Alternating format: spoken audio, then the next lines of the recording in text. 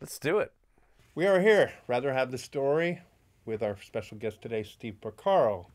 Steve is a good friend, and I think we're going to subtitle this Two Knobs, kind of in Watch your language. a theme. yeah. All righty. um, speaking of which, there's this monster behind us that I brought in today specifically for your interview. Seems Thank kind you. of appropriate. Sure. This is uh, an original Moog synthesizer dating back to the 60s and early 70s, and it is definitely old technology. Wow. It's as valid today almost as any other synth we've got. You know, anything we could play now is rivaled by the quality of some of the old stuff. Sure. And you went through that whole period of having a lot of interesting equipment, but I'm going to throw you a loop. What is a micro composer? Good question. No, I uh, um, my very very first synth rig I ever got. A friend of mine in high school, Jay Chernick, had a mini Moog. He had um, serial number five, uh, Oberheim DS2, a digital sequencer, and he had like serial number fifteen, Oberheim uh, synthesizer expander module Early stuff. very early stuff. And he would just had all these chords, and he would send the you know the Moog would go back and forth from the sequencer, and then he could send something to the the expander module, and and um, and I wound up buying once I got my first gig at 17 years old with Gary Wright. I my brother Mike fronted me the money to just buy this friend of mine's rig. He wanted to buy kind. yeah he wanted to buy a grand piano and wanted to get rid of all his stuff and. Uh, and I loved it. And I used that sequencer quite a bit in the studio. I had learned arranging, so I was into not just arpeggiating and making things go fast, but I used to like to to write out stuff and have my fast 30 second note lines go through chord changes and all that kind of thing. And uh, um, I, lo and behold, I see several years later, I see Roland coming out with this micro composer, eight channels of a digital sequencer. And I'm, again, having taken arranging lessons and having learned how to block harmonize, I pictured my flutes in five part block harmony. Or Bach chorale or something. Exactly, exactly. And every time I was studying, I whatever I was studying, whether it was trying to learn how to write for strings or trying to learn how to improvise, I thought these things could be my one-man band. Hmm. This could, you know, put in a walking bass line, put in something comping, and then I could be free to practice and slow things down. And uh, I really saw a lot of value in that. Or, you know, like I said, learning to write for strings. What better way to experiment than to have these tools? That's how I saw it. A sequencer in those days was a lot trickier than people consider one now. Well, the thing that was beautiful about the original Oberheim was how simple it was. You you hit record, you just played whatever you wanted in at a at a pretty steady pace for the most part, and uh, um, you could play it back as fast as you want.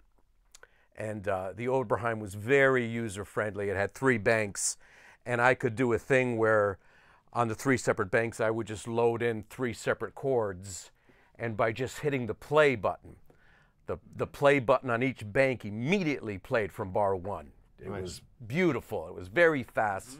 There was no delay. I could put in these really fast arpeggios on three different chords and access them all randomly Yeah. and whenever whenever I wanted to, just hitting play. It didn't all have to work out. It didn't have to be. Uh, uh, you could you could restart it by just hitting the play button over and over again. So The interesting technology of that one, and I used to have one of those tabletop boxes. It does recording in real time. So whatever your tempo was, you play it in. But then you had speed control, faster, slower. Exactly. But you couldn't do any other adjustments. As you said, it was purely simple. no, no, it, it had three buttons for transposing. Yeah, grab it and then play it back was all it mm-hmm. would do. And it would do a single track, and then you could push a button and have, if you want, a bridge or a chorus or a different Sure. kind of pattern. But you couldn't even turn it off and keep that. Oh no, shut it off and it's all gone. Yeah. Shut it off, it's gone forever. My first ever synthesizer concert was a, a duo that toured America in colleges called Haynes and Ramey. Completely unknown to most people. but one guy had a percussion synthesizer, modified rhythm thing. The other guy played piano and maybe an organ and a synth or two. But I do remember him having that sequencer because he could put in a bass line, make an ostinato kind of loop of it, and then jam over the top. So it was a very live performer kind of thing. Yes, if you ask you- had go ahead. balls, you know what I mean? Yeah. Because again, you lose power. It's risky. It's it's a nightmare. But starting with this thing called the micro composer. This is Roland's box, tabletop, Yes. not MIDI.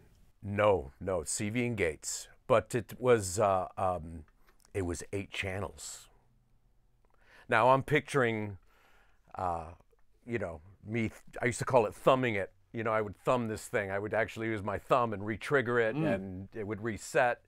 I'm picturing me do this, doing what I did with my microcomposer times eight. You know, Yeah. um, first thing, uh, the first stumbling block was you needed eight synthesizers Tricky.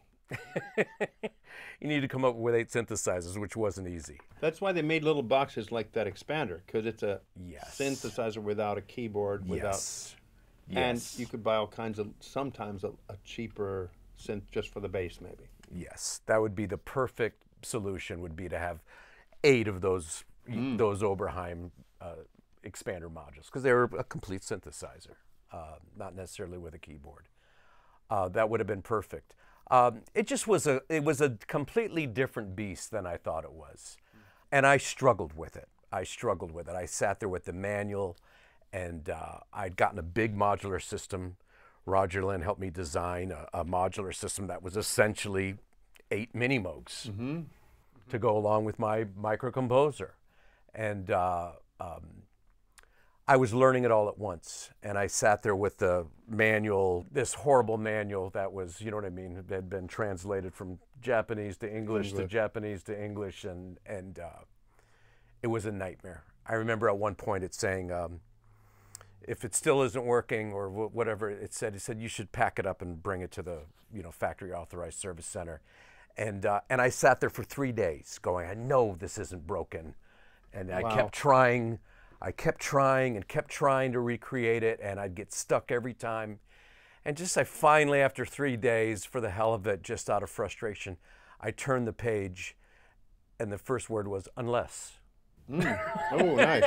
it was it was that kind of experience. That's the secret Uh, key to getting something out. Yeah. You know, I never really used it to its potential. It did all this amazing stuff. You could load it in live. I never loaded it in, uh, played into it. I learned to, you know, you would have to program three numbers to make a note. Now You know- explain what those, There's are parameters. First note is going to be The pitch, the pitch. The second note is going to be the step time, the time When it starts. between notes. yeah, Uh, the third number was going to be the gate time. How long How on. long was it held down for? So I mean, you're really almost like sheet music, putting in quarter note on F sharp for you know Oh, this yeah. long, and at this Oh, point, yeah. tricky. yeah, it was very tricky. But uh, I loved it. I, I loved it because it did whatever I wanted it to do. And um, I'd been doing a lot of uh, sessions in those days with David Foster, uh, the producer. And anyway, on my I was like on year two, struggling with this thing and work, you know, working with it, doing the best I could. And David calls me out of the blue and he says, he goes, "You've never heard of a microcomposer, have you?" I said, "I've been killing myself on this thing for the last couple of years." Well, his friend from Canada, he said, "Can I? I got a friend I want to bring over," and it was this guy Ralph Dyck, who did the ah. original design of the microcomposer for Roland for mm-hmm. Mr. Kakehashi, and him and I became very fast friends, and uh, he was amazing. Ralph was just. Uh, Ralph is even credited on Toto Records. Oh yeah, for Yeah. good reason, because he he made this stuff work. Ralph actually wound up making me a sync box. He he. Uh, um, I was in a band uh, uh, where the drummer did would not play to a click under any circumstances, Okay. and here I am trying to blaze these trails, and uh, That play to a tempo. you know, and I don't blame my brother for not. You know, my brother was a world class drummer and uh, had this Going amazing pocket and feel, and and uh, they didn't want to play to clicks in those days. And uh, so Ralph actually he had a, a mathematician friend. He they figured out this algorithm, and I had a live sync box. It actually also had a tape mode, but I could live tap along with a track, and it would spit out FSK frequency shift keying, which is what all the drum machines and early uh, sequencers used. This is You the know, hard way to do things. Really hard way to do things. But it's almost uh, like Disney animation, where they paint a picture and then you move to the next cell and you paint a picture yeah. and you move to the next cell. Obviously, some of that art still holds up, though. Yeah, I mean, this was, I became kind of embarrassed how much time I was spending on, on such non musical stuff, on how many hours were being spent on, on uh, being under the hood, so to speak. It's You a know. it's a fun challenge, and of course, it makes life today seem so simple.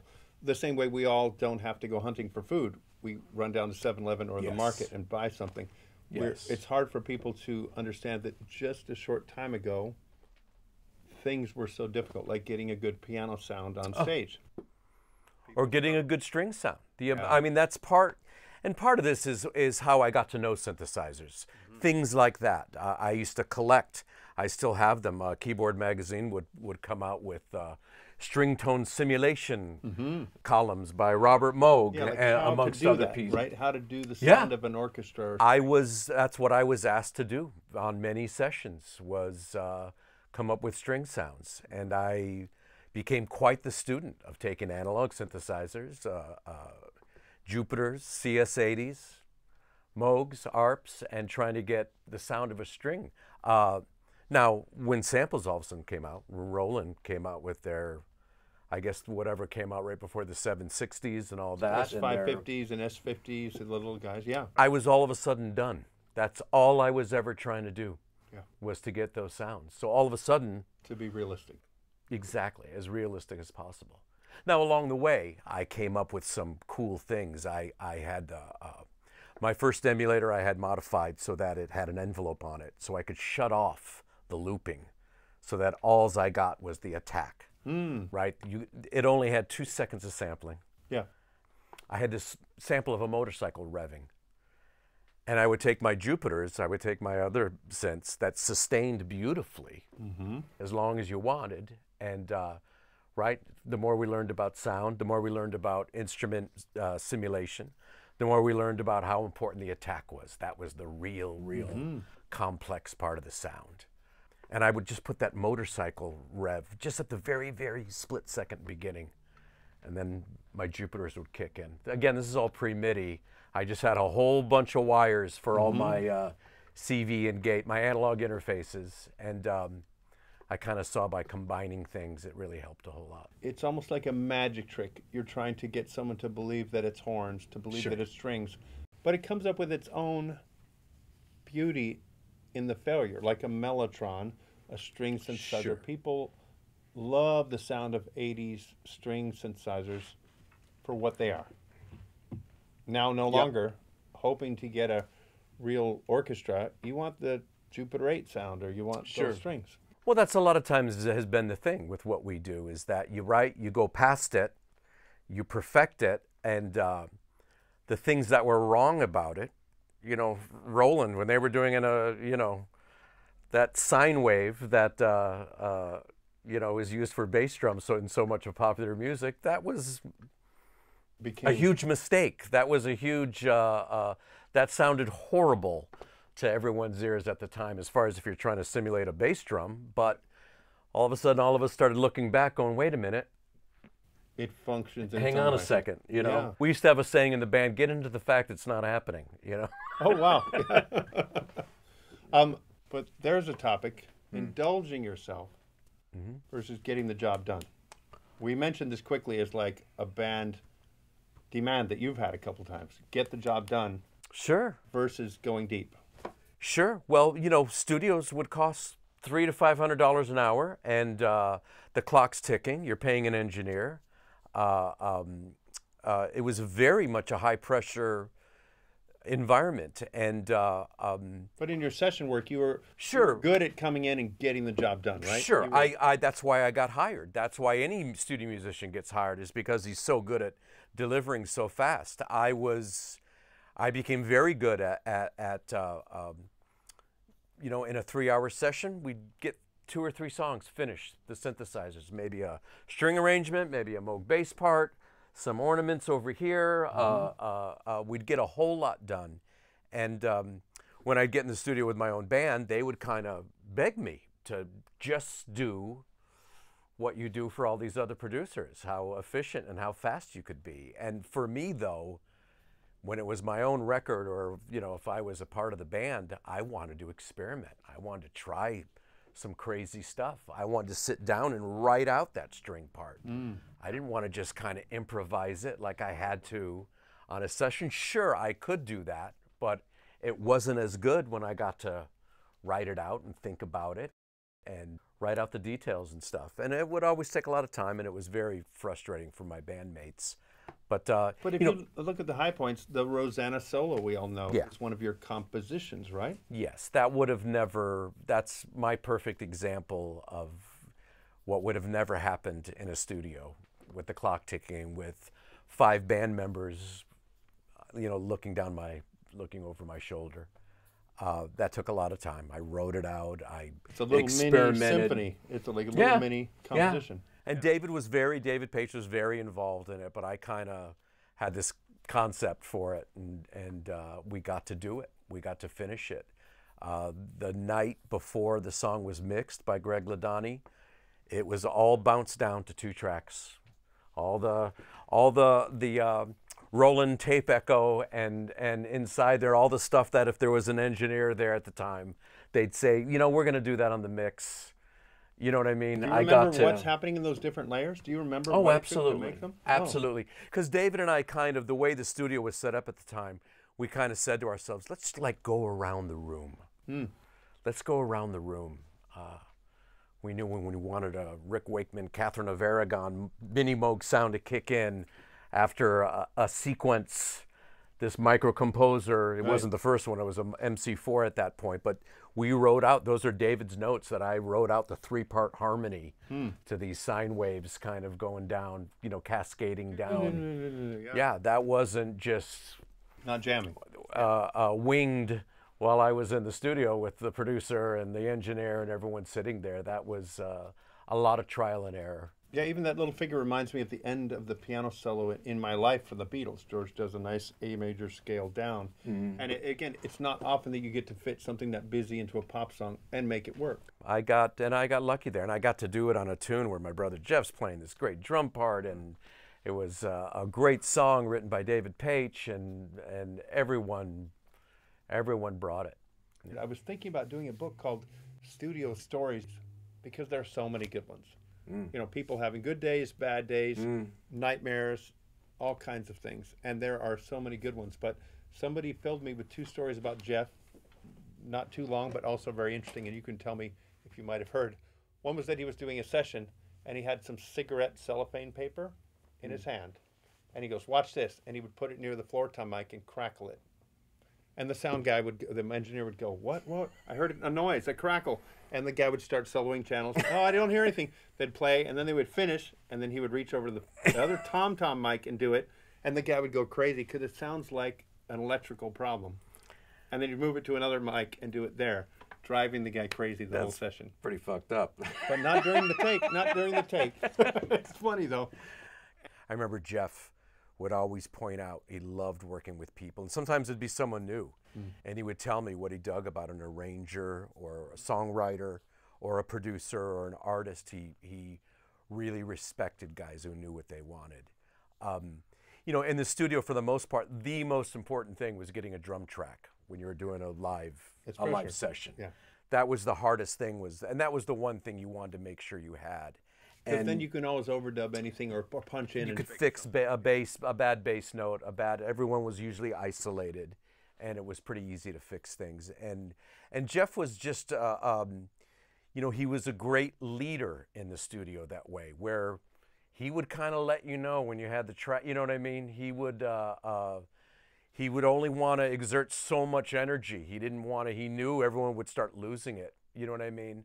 Um, at a certain point those kind of musicians, it, it, it seems, me, I wish I could play things for a month. Half the time with Toto, I would figure out two months into a tour, I, I would constantly think, ah, this is what I should have done on the Ah, record. Backward. Yeah. Okay? but Lukather, David Hungate, David Paich, my brother Jeff, these guys were amazing at playing something brand new and falling into a part, falling into these parts that was like they'd been playing these songs forever. They really had that gift. And uh, uh, Jeff was really, yeah, sometimes he might have to use some of that kind of bullshit like you're talking about, dealing with an inexperienced producer, but most of the time, he was just a real strong leader and, and work, loved working with great engineers and, uh, uh, you know, was very professional about showing up early all the time to get sounds. And uh, um, uh, he just, he was really, really good in the studio. There is a uh, a time period when we were stretching the limits of tape. I'm surrounded by tape machines in this room, uh, which is a, another thing of the past, but it's what we do here. And yet, that was the time when you were trying to get more and more tracks to make a record work, and you did use them. I mean, it's not like they were wasted. There's a lot of vocal parts, a lot of percussion, Oh, yeah. layers of keyboards. Yes. It's a lot of work for an engineer producer to sort that out, for sure. Yep. Again, that's one of those things you look back, right? We we gain. There's stuff we wouldn't imagine. Uh, you wouldn't imagine these days running out of tracks. Uh, uh, having more was always was constantly everyone's desire was to have more. But uh, then once we had unlimited tracks, you start reminiscing about those times when there was just one track left for a guitar solo. And uh, what are you going to do? Are you going to Keep that last one. are you going to keep that last one? Are we going to punch in or right? You redo it, it's gone forever. And uh, just you saw the beauty of having to make those decisions. It was all about making those decisions. Um, now we, you know what I mean? Now we're able to put off those decisions uh, and have to sort through 16 guitar tracks and maybe comp together the one. Uh, back then it was. It was what was great about it is uh, uh, we got stuff done. You know what I mean? It- you were able to get it done, and I was lucky enough to be surrounded by the kind of musicians who could who could rise to those occasions. nobody wants to go backward too much. I find young people often look forward to going back to what the previous generation had. I did it going out and buying Mellotrons or old keyboards. Sure. I wanted what I couldn't get when I was younger. But I see people now have exploded with these tape machines, have doubled and tripled in price in the last year or two because younger people, not older people, are going to it. And they want something about that. I'm curious whether it is a nostalgia or a myth, or whether they do realize I don't want all the choices in the world. I don't know. I'm seeing a lot of what you're talking about. Even okay, you can buy a brand new Moog modular yeah. now, um, but there will always be someone who will point out the difference. Uh, they like that the oscillators were more unstable back in the day. Now I I spent half of my sessions were spent trying to get this stuff in tune. You know, uh, I kind of crack up at some of my plugins that have, uh, uh, you know, what is it on my ES2? What's it called? Uh, you know, it's just a general Preset. Detune knob that kind of puts it out of tune with itself. Uh, we were, I can't tell you how many producers uh, uh, were just trying, and we were constantly trying to get things in tune, trying to get synthesizers scaled, even just a monophonic, trying to get the octaves to be in tune with themselves. Uh, it could really be a challenge. So I find that anything that passes audio, anything, uh, my emulator 2s with their 12 bit companding technology. Uh, I mean, yeah, I kind of had built up a nice library, but um, I never saw any real good or anything special about them. But yet, if it's not made anymore, if it passes audio, there's somebody that's going to fetishize over this stuff True. and have to have it and want it to be part of their collection. And it does make sense that somebody is obsessed with drum machines or early samplers. That's the music they grew up with, and that's the, the field they want to stay in. Whereas a modern classical composer may not be interested in early drum machines at all. Sure. So it's just picking the tools for what you want to do. Sure. But it's also good to be limited. Option anxiety is a huge, huge challenge. I think that's what you're talking about. Yeah, like the menu at Jerry's Deli was like 400 things on there, and you're like, I don't even know. That's I want to have it all. That's exactly what we're talking about. That's been a huge struggle for me. Um, yeah, and you try to come up with templates, and you kind of come up with your favorite sounds and your favorite starting places. Anyway, but uh, and we're always trying to hear something that that uh, excites us, and hear something that hasn't been that we haven't heard before. Um, more about uh, uh, the way using what we have, using what I have, uh, taking things, putting things in audio, uh, uh, recording things, and manipulating the audio in a way I never had before. I mean, uh, Hans Zimmer hit me to the Zebra synth. There's always these great new things that I'm, I'm hearing stuff I haven't heard before you know, some of us get real good at flopping over which side of our brain are we working on now. True. You know what I right. mean? I had this great idea. Um, I'm trying to come up with a part for this song and for for this record, and uh, uh, you know, you could be start off in a very creative mode, but then going down those rabbit holes, going through presets, thinking, what if? Uh, uh I mean, it's what we do for a living. You've got to be able to know when to flop back over be in creative mode and, and let those limitations uh, help you get done, you know. I'm uh, pleased to cover this stuff. It gets very technical, some of what we're saying, but I do think it's interesting. And I remember being inspired by probably your first time in Keyboard Magazine mm-hmm. was an article and an interview. And something stood out to me then for what I was interested in. You said, a mini Moog is cool, the jacks on the back are the interesting part. And nobody was using them. Nobody. Yeah, that's what uh, what I learned from modular, from guys like Roger Linn. That, and I believe me, I never used that stuff. Mm-hmm. I never used any of those things on the back. Uh, yeah. Probably, you know, most people with a CS80. How many people use that external input on the back? None. Nobody. Yeah. I wound up once I started putting two and two together. I, you know, I remember uh, at, at, David's house at the manor. At, you know, when I realized our VSO that we had I was like, I asked our tech, I says, does this have a voltage control input? Voltage going? Yeah. You know what I mean? Once you start putting two and two together, and you see, uh, Korg had a tape delay, just like a just like a uh, uh, Roland Space Echo. They had a tape delay that had a, a, CV input. Yeah. You mean I could change the speed? With your keyboard, remotely, with or with a keyboard, whatever. with a sequencer, yeah. so that it was rate and time, and if the tempo changed, I could still stay in time. I started putting two and two together and got nuts, got crazy with it. The promise of voltage controlled. Uh, yeah, and the jacks jacks on the back of my of a Jupiter to to take a uh, uh, to have a drum machine going mm-hmm. and be able to tap in any pattern at all. You know, say on a cowbell. Is that the dirty laundry trick? It's totally the dirty laundry so trick. Explain it's, the. But yeah, that was just all about gating. I realized I could I could program any pattern I wanted Danny had a live organ and they wanted this pattern and they wanted it nailed. They had cut the track to a drum machine and they wanted this organ part nailed. And uh, uh, I came in and um, luckily Greg Ladanyi, thank you Greg, he had recorded the Linn sync tone, which most people didn't do in those yeah. days. So I was able to sync the drum machine back up. Um, I, I sank the drum machine back up. Um, but not to hear it. Oh no! You're going to listen to the pattern coming off it and I just on a cowbell programmed a ba ba da da da. Okay. That went to an envelope follower that triggered that triggered two uh, you know triggered envelopes. That and I then took the uh, the output the audio output of the Farfisa, just put it through a voltage controlled amplifier, and it was being controlled by that envelope.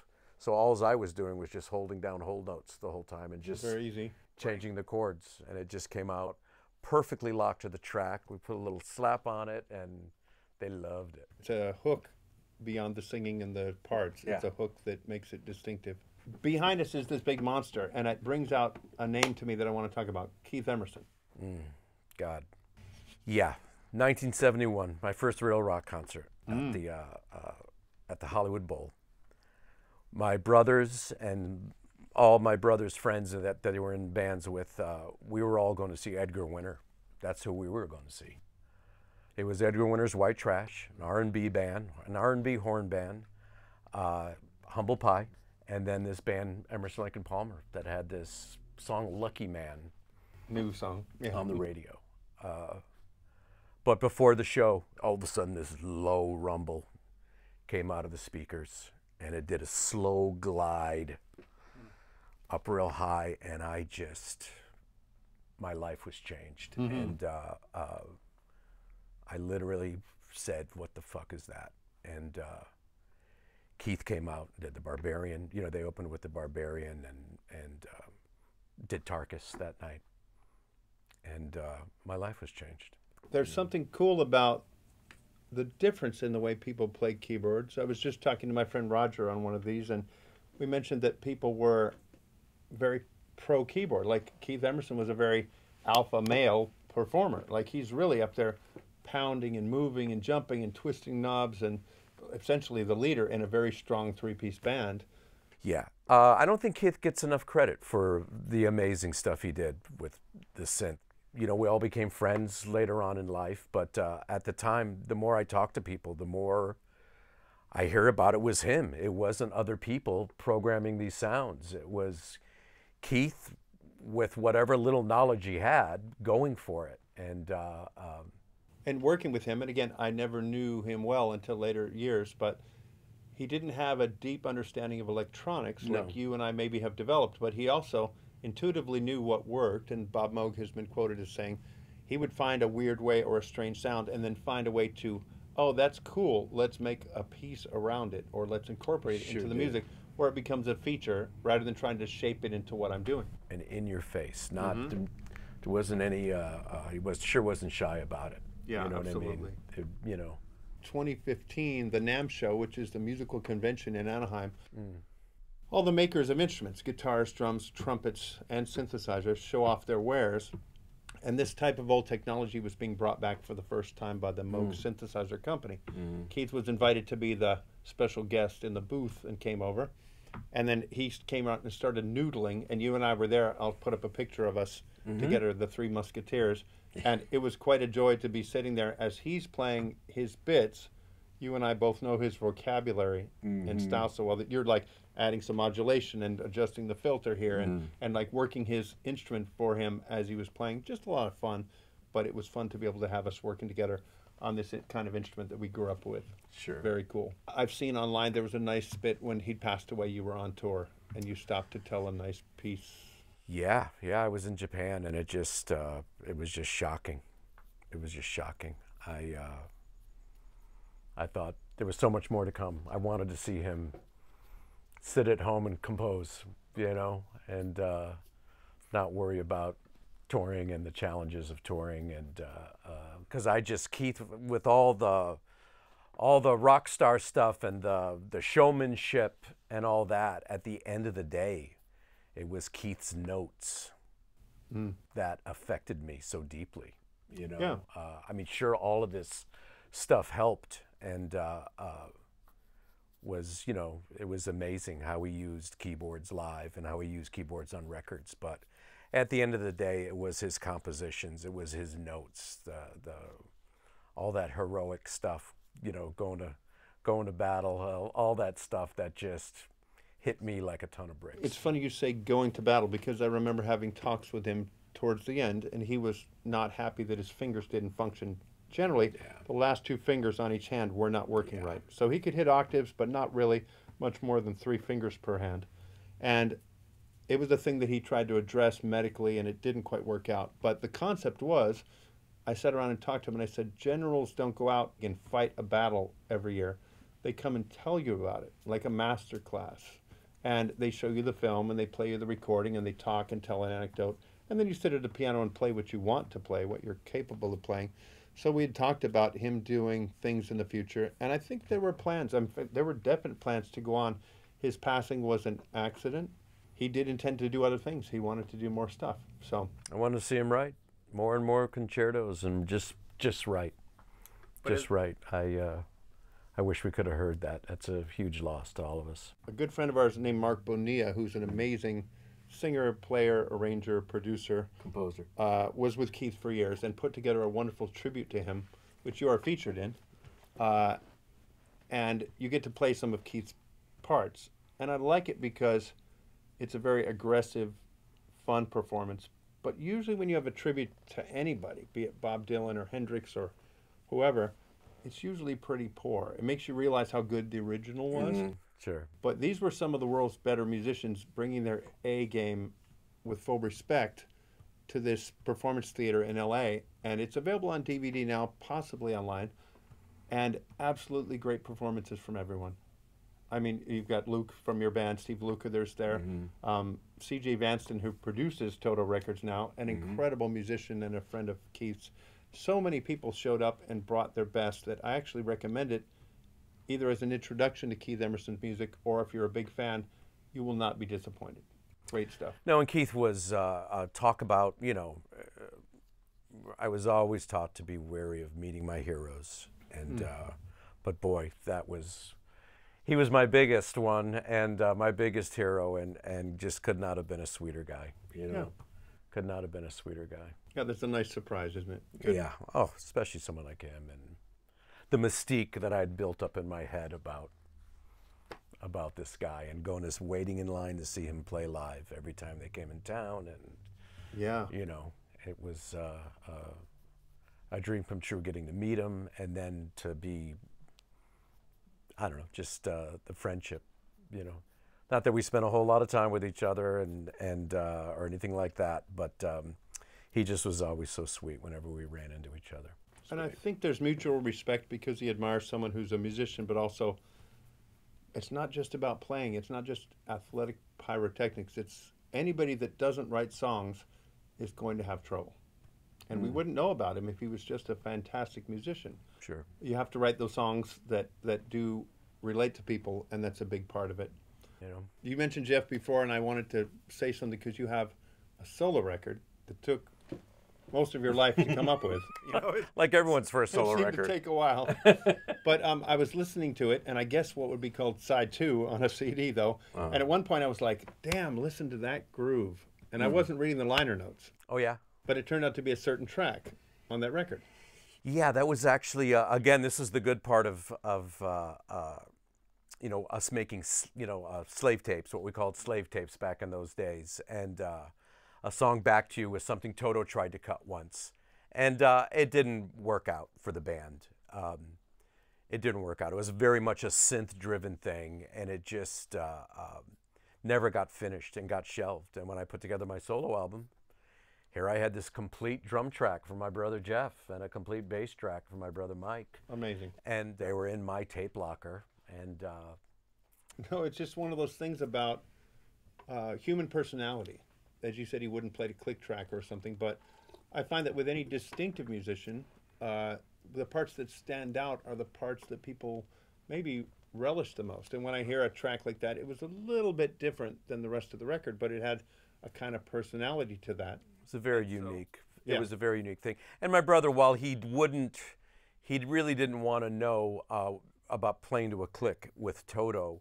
When it got to my own stuff, if it was something, and I was constantly writing and experimenting, and and uh, uh, when it was the weekend, even after putting in a, a whole, you know, a whole a good week's work with the band or whatever, if I was trying something or experimenting or had written a tune, Jeff would come over and he'd play to any click track or play on any pads I asked him to. He was wide open when it wasn't officially Toto. I didn't know him personally, but I've heard stories about sessions where he was a jokester. Jeff? Yeah. And I think that's a characteristic of Steve Lukather, Luke. Oh, yeah. various people that I admire and respect, Keith Emerson's one, who had a great sense of humor about things. Maybe not so worried about stuff, but at least had fun with it if they were. Oh, yeah. Jeff, for sure. You know, Jeff's, Jeff's talent really kind of, I grew up with the guy. It really kind of came easily to him. I mean, all's I, the, the, the wood shedding and digging in I saw him do growing up as a kid uh, uh, was 98% of it was him with headphones on with a turntable playing to great records, you know, playing to records. He loved playing to records. That was kind of his education. And uh, That's one of the things that makes a good writer is you read a lot of books or a good cook has to have tried a lot of different foods. And it, it allows you to take and choose what you want, even to hear something that you can't quite get there. and you struggle to go for it. There is a different world. I think it changed around. I'm trying to think of what would be the last band that grew up playing covers. Oh, Van Halen would be the one. Sure, They grew up playing covers. They were a non-original band, sure. and then they mutated into playing originals. Nowadays, when people start a band, they usually they might have spent some time learning records, but they would take time out, and now they write whatever their own music is. So maybe you're into big open chords, maybe you're into jazz voicing. So you don't stretch yourself. That's really interesting and true. I mean, I remember we lived we lived for the dances we played at, the big gig, the prom, the homecoming coming up. And I know this was true of my brother Jeff, that his generation, he was just three years older than me, but uh, we all played in cover bands. We all played top 40 stuff. What kind of tunes? Oh, um, you know, originally their band. I mean, a lot of R and B, a lot of uh, uh, you know Memphis R and B. But uh, um, at one point in high school, uh, they just kind of Jeff's heroes became. I'm seeing your Delaney and Bonnie records over there. uh, you know, Jeff became obsessed with with studio musicians that had great time as far as drummers go. Jim Gordon, Jim Keltner, these guys were his heroes. Uh, the only guy like in a rock band, you know, in rock bands that he admired were, of course, Ringo and and uh, uh, John Bonham. You know, was one of his hugest heroes. Incredible, And uh, yeah. so their high school band, it was they did the whole. I don't know how familiar you are with Joe Cocker and Mad Dogs and Englishmen. They almost did that set great. verbatim. Great. They almost did that set verbatim. Leon Russell was always a huge hero of all of us. Uh, um, so horn bands, you know what I mean? It was R and B stuff with horns, but it was also Joe Cocker, that that Mad Dogs and Englishmen set. which is great, fun uh, live music. But in, in yeah. the way of the challenges, when I grew up, we did some cover band stuff, and and you know the people want to hear that song sound right. They don't want to hear you take it into a slow No. reggae version. They want you to get as close as possible, so you're stretching up to a, Absolutely, absolutely. maybe a style that's not yours. Or I remember once learning a ninth chord at the end of something. What is that? Whoa! And it's a ninth chord that ends a song. Sure. It's like okay, now I know what that sound is, Yeah. but I might not have learned it in my own messing around. You know. We were fanatical about trying to recreate the record uh, uh, when we were kids. And I remember when my daughter, I, I, I, I my young, my, my first daughter Heather, my oldest girl, when she would um, have dances at school, I would always I'd drop her off, but then I'd park my car, and I'd want to sneak my head in, and not to embarrass her, but I wanted to see the band, Ah, cool. you know. And every time it was a DJ Oh. to speak to what you're talking about, though, where. And I kind of saw that it was kind of with hip hop music, starting at the very beginning. No one really wanted to hear anybody cover hip hop tunes. They kind of wanted to hear the record. it was true. all about that record. Uh, you went from that world Mm-hmm. into being in other people's groups, yes. like the Gary Wright thing, Yes. which was a big pro keyboard, very Mm-hmm. maybe you know, I would call it early synthesizer for sure, compared to what Mm-hmm. we've seen since then. And then uh, after that, Boz Scaggs, which is an incredible record and time period to be touring for him. And then that group Mm-hmm. Yeah. became Toto. Lots of the backing people became a Toto thing. And then, without jumping over those decades so quickly, music scoring and arranging is a whole different field. It's related but not. You know, there's there's something going on here that, that I think is interesting in your resume. From first thing I heard was Dune. There's a Toto record for the first Dune film by David Lynch, which is a great, great record. I really listened to it a lot. Yeah, we weren't at all ready for that. Uh, uh, we weren't at all ready for that. I wasn't ready to take advantage of that. In what way, though? Well, you know, my dad being a musician and mostly doing, I mean, he did a lot of records and stuff like that, but he mostly did film stuff. He mostly was in the orchestra for for a lot of films, a lot of great films, a lot of great scores. And um, you know, guys who compose for movies, these are this was we're talking Jerry Goldsmith, we're talking Jerry Fielding, we're talking John Williams, we're talking these guys that were on such a, a huge pedestal in our household and were so amazing. Um, you know, I never thought in my wildest dream that I'd ever have a chance or an opportunity to score a film or to be in that world. It seems very imposing just to think about it, even to be responsible to an orchestra. if you want to use an orchestra for Sure. scoring. Sure. I never had that. I didn't have that education. I didn't have that. Uh, uh, I never had perfect pitch. I couldn't. If there was a wrong note out there, I couldn't just look at a score and figure it out. I'd have to sit there at the piano and, you know, I that was something I I never thought I'd have a chance to do. And uh, uh, yeah, it wasn't until and believe me, guys like. Guys like Danny Elfman, guys like Hans Zimmer, I think you know they they got a hard time. They had a hard time from a lot of the the music establishment at first. You know, I think that was part of uh, in the interviews I've read. That's part of what what drove Danny Elfman was the was the disrespect he got. Uh, um, you know, even. Um, but it didn't stop them, and it didn't stop. And those guys kind of showed all of us that you know what, it's possible.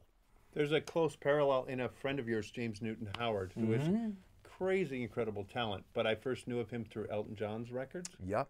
Great work on there. Rock of the Westies record, especially, is so good, and yet moved on quickly to being one of the biggest scoring people around. Yep. Did you learn from him? Was he an inspiration? Absolutely. He was the biggest inspiration. Oh. You know, James was always a hero. James did all the string arrangements on Toto 4 mm-hmm. and subsequent Toto albums. Uh, uh, we were all big James fans. You know, he had taken over for Paul Buckmaster, who we had on such a pedestal as far as string arranging goes, uh, uh, what he did on those early Elton John albums. And James kind of took over and was his keyboard player live on the road, you know, doing the synths, had a great knowledge of synthesizers and and knew how to knew how to use them, you know. There's a corner of the world I haven't thought of in a while. Um, Sheffield Labs was a company Yeah. that made very high quality vinyl records. And they cut things live to disc, which is now a thing again. Vinyl is back. And some people who indulged that are like, no, we can record live to the record. That's pretty hip. You made a record with James called James Newton Howard and Friends. Yes. And it's a version of Toto plus him doing instrumental pieces. But it was based on a NAMM show performance or something? We had uh, uh, um, I developed this great relationship with Yamaha, starting with the CS80. I uh, my brother Mike bought one, and and there was a big waiting list in LA to get a CS80. It was uh, they weren't going to be available for months, and my brother Mike happened to be in Japan touring with Larry Carlton, and he said, "Steve, they're on every corner here. Every music store's got several of them. Should I grab you one?" And I was like, "Absolutely!" And that was kind of my first synth with Toto. That was kind of what I was bringing to the table for the very first Toto album. I was going to have this new polyphonic synth that really felt like a polyphonic Moog to me as opposed to a poly Moog and Yeah. anything else available at the time. And it had this individual aftertouch and it just sounded so human and so cool. And I, I it really became my axe. You know, if, if a synth guy can have an axe. Um, I loved it. And uh, right away, it started screwing up. You know, uh, uh, there started being problems with it. And I called Yamaha. It was uh, what was then, it was just the dealer service. They did not do consumers, they didn't do customers. They just were a dealer service thing. And they says, they blew me off. They said, you've got to bring it to Valley Sound at the time, your local sure. factory authorized dealer. I, I brought it in.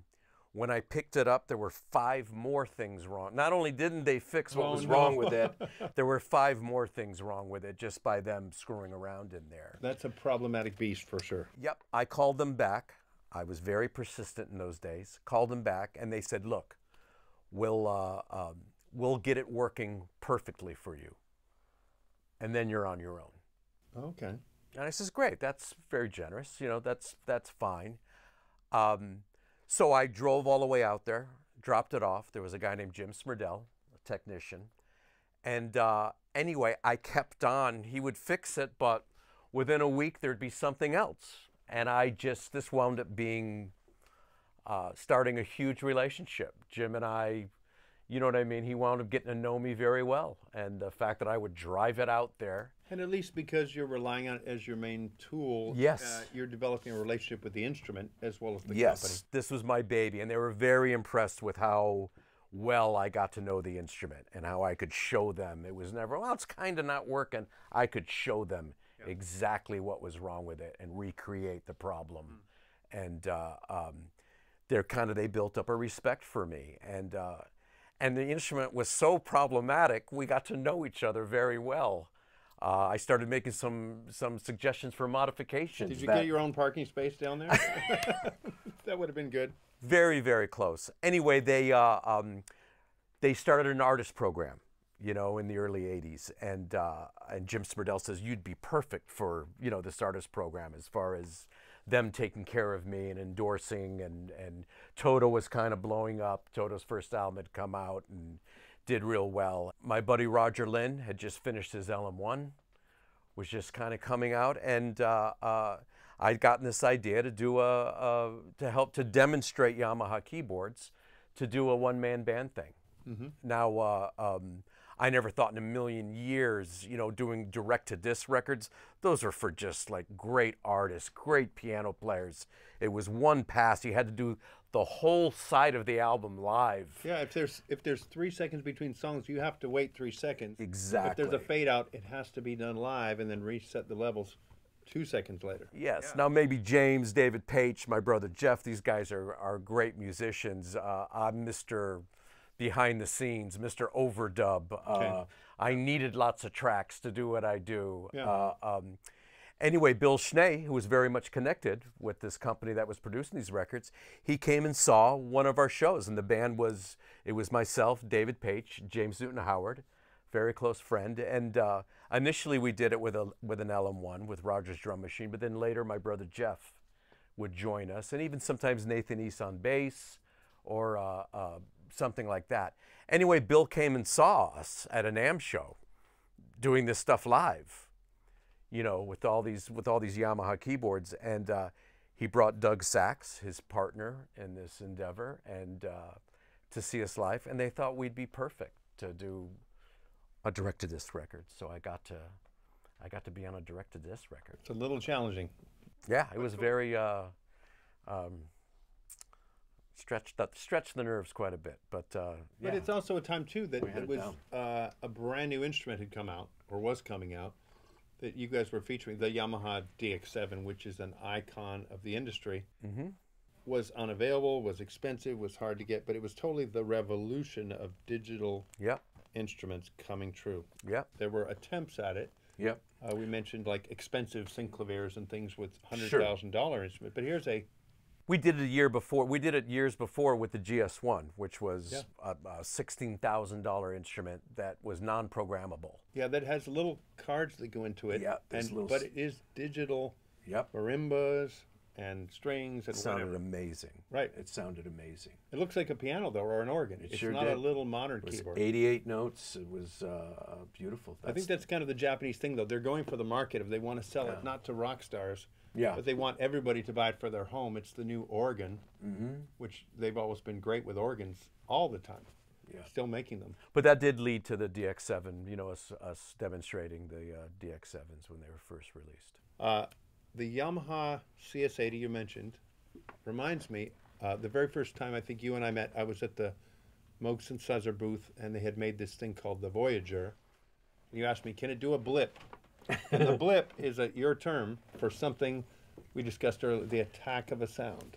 Yes, the complicated attack. I when I first got my modular stuff, um, right before I got it, Frank Zappa had an album, "Shake Your Booty," and there was a tune on there called "Yo Mama," and there's a synth break.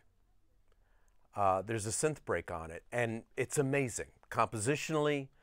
Since the sounds, uh, uh, the sounds are amazing, and I played it for Roger Linn. I said, "How do I get that sound?" Yeah.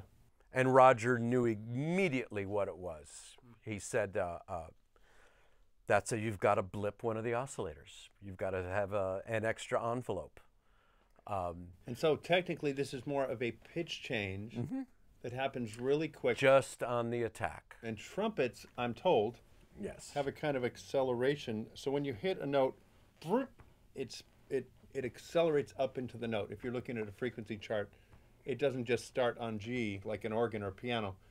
It rises up quickly. Yes. Almost instantaneously. Yes. Now this is something you couldn't do on a Moog. And the other thing about it was that you could only you do it only on one of the oscillators, one of two oscillators. So there's One that rub. on note, the other one comes up. So there's that rub. Yeah. The one is just kind of blipped out of tune just for a second. Yeah. Roger pointed it out to me what to do, and then we wound up really uh, um, making it more sophisticated. If I can geek out for just a second, Yeah. we do not only the blip like that with an envelope, but another thing that you really needed, and to this day, for the most part, you still need a modular synth to do, is to take a very fast LFO, about the speed of someone doing a raspberry, you know, spitting, you know, up. An LFO going about that fast, and uh, you need to gate that LFO, Start and stop. you know, with an envelope, Yep. with an envelope, and then you send that to the filter, just on the attack. So it's just on the attack, and then it goes away. Wow. You know, you could also put that on one of the oscillators, and it just adds shit to the attack. You know, just makes the attack more and more complicated. But Roger showed me that, so I did it right away on uh, on my polyfusion stuff, and uh, um, yeah, that wound up being a big part of my sound, and uh, I, I still go to it. It is a thing that is iconic to those records you made, and also I've seen people since then. You've probably seen it. Synthesizers that say Toto horns, and you know what that means when you hear it. Mm-hmm. It's not going for a perfect replication. It's going for the synth sounds you made that have that attack to the front. So I got to give credit to, and by the way, Frank Zappa had this amazing synth that It was was emu. It was it was starting with a CS80, Hmm. okay, which was this weird linear organ technology. Yeah. Okay, that was not. They didn't have a bunch of CV and gate outs. Mm-hmm. It was this very proprietary uh, organ techno- kind of technology that wasn't that didn't interface real well. There was a CV in that you could assign to everything, uh, you know, to the oscillators or the filter or the amplifier. But um, I'm sorry, I forget his name. Keith Olson, the great engineer, was an assistant of his, and he modified this CS80 so that it played an EMU modular. That's it. Okay. Okay. Which I've seen pictures of the giant emu system. Okay, yeah. being played from a CS80, and it was voices. multi voices. And uh, the guy who programmed that and played that, I think, on Yo Mama and stuff, is Tommy Mars. And, Oh, great. Uh, uh, the great Tommy Mars. So I got to give credit to all of this. This is all kind of from Tommy Mars. And I remember one time Toto was getting ready to go on the road. We're at Leeds and we're all set up, and I had my modular stuff all set up, and Tommy came in, and he he looked very closely at my patch. Oh. And he gave me the big thumbs up. It was uh, a, Good. uh, was a proud moment, you know. I have to laugh. Tommy's such a character, not just in a player, but a human character. Yes. Don't know him, but I remember seeing him once play on stage, and his keyboard stand was an ironing board, and that's just his personality. Sure. T. Um, Sure. Speaking of keyboard stands, you may not even know this. There is the Toto 4 album has pictures of you guys. Mm. You've got a little rig of keyboards and stuff there. I was given that keyboard stand years ago, You're kidding. um, which is custom made set of pipes almost, and it had a rack of stuff going up on it. Sure. It, it was uh, just pictured on the record. Sure. No, we were able to. Paich had an A100 Hammond, and it was made so that you could put a CS80, Heavy. very heavy, 250 somewhat pounds, probably as almost as heavy as the Hammond. Yeah. You know, and then we'd put a, uh, a Jupiter or a, or a Prophet 5 above that. Stacking things Quite a potent rig there. It, there's a change now between seeing those people, and that was a, I would call it a good size, but a medium sized rig compared to some people. Some people had more. Rick Wakeman, for example, etc. But there's something fun about watching people. Oh, he's going over there to make that sound. That's an organ. Yep. She's going over here to play piano. That's her piano. Oh, now she's playing the strings on that one, and you've got your hands split, and you're doing Yep. the dance. I did see uh, a Yes concert a few years ago that just had two keyboards, and somebody was switching it off stage with a laptop, probably, and it was so boring. Yeah. No, I, I wound up there. I kind of had done the. it happens. I kind of had done the, you know what I mean, the multi keyboard synth modular on the road. Uh, uh, it all looked great. Uh, um, I kind of did that, and and uh, for anybody out there who knows what MainStage is, it's Yeah. kind of. Uh, It's taken over. I wanted to be more really as efficient as I could be, and uh, with two keyboards, and just really splitting things using the promise of MIDI. Uh, being able to have a pedal scaled differently, going to several different things at once. Uh, it kind of does all that. The And difference so- being that sounds can be much more accurate now. You can actually have splits and things that follow your hands, and you get polyphonic aftertouch on any instrument. If I can want. use the very, you know, I was able to start using the very sounds that I used on the rec, you know, on the on the later records, you know. Um, you mentioned this modular synthesizer system, which is a company called Polyfusion. Mm-hmm. Not so well known, but good quality. And you and I have been talking Yes. to them about helping them get things going. Yeah. They've been great to me. They they found us. It was kind of, uh, you know, I always wanted a Moog was always the Rolls Royce to me. But you had these giant systems that when nobody was doing it anymore, you were taking them on the road to be able to do things live. That's challenging. Yep. Yep. I was doing my blip stuff live. I was doing my lead, big lead voice for some of the solo stuff, and then like in the Rosanna solo, there's. Uh, um, actually, on the record, I think I used Jupiter 8, my Jupiter 8 for those three things, but live, uh, and I had the micro composer live. I would I would kick kick it on with my with a foot things, yeah. trigger it with a foot pedal. Um, it was able to do all these different sounds at the same time. That was the thing is that I didn't. The reason why my rigs were the rigs were so big, and we actually had it. We had two of them, still do, as a matter of fact. But it it wasn't for. Uh, I wished it was for more for processing and and and doing things that uh, only a synthesizer could do. For the most part, initially, anyway, it was just about voices. In those days, besides an expander module, I wanted something that was more sophisticated than that. And essentially, what Roger Linn designed for me was eight mini Moogs rack mounted. It was eight mini Moogs rack mounted. That's kind of what I wanted at first. It wasn't until later till Polyfusion started giving me sequencers and and uh, uh, quadrature oscillators and and Ralph Dyck would design lag filters for me and and custom stuff like that. That Yeah, I started getting into this the real synthesis of it all. a real interesting time period because these kinds of instruments is a way of working. Many people are very comfortable with it now. In fact, I, I know stores full of these instruments now where it is the a certain way to approach performance and sound design, which is really powerful. I mean, you're building from core colors here. You've got primary colors and things like that, but you're Mm-hmm. literally building your instrument each time you plug it in. Each Yeah. person has their own taste in that. So I'm fascinated by the technology coming around. And when Bob Moog and I would walk through the NAMM show, we saw a few people, company MOTM. Uh, there were a few other beginning companies that were starting to make these again. And Bob was just shaking his head, going, "Wow!" And he said, "We don't usually see technology march backward. Nobody wants an old. TV, an old blender, No. an old you know refrigerator. No. So there's a musical trend, but not on the technology side until then. And he was just going, "It's so weird. We we kind of failed at that back then. I mean, they made it. They made the instruments, Right. but it wasn't financially strong. No. And here are these people doing it again, Of course. or to even make a sound in here. I just love the physicality of it. Absolutely. Absolutely. There's nothing like dialing in with real size knobs and and uh, dialing in a sound. It's uh, it's a unique experience. You gave your instruments uh, Roman, Greek names. You know, that was just for the, you know, I was still doing a lot of sessions and I wouldn't always need all of it. So we just kind of uh, gave everything names sometimes just so the cartridge company would know. Just bring Ramses and they would Okay. know just to bring which cabinet to bring. you know, than trying to explain. I guess it's like it a number. BB King with Lucille. You know, he's got a guitar Sure, bring it. Lucille as opposed to and it gives uh, us some personality too. That's yeah, good. yeah, it was just fun. Um, we've had a great talk. We might do more in the future.